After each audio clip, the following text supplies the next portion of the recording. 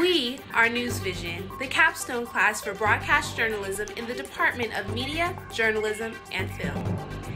Here at Howard, every day is a news engagement day, from what we learn in class to what we publish online. We are journalists dedicated to bringing stories affecting you and the people in our community in an ethical manner. We're covering the 2020 election from issues to voter suppression and all that you need to know. Make sure to check us out on our YouTube page, SoundCloud, and our website.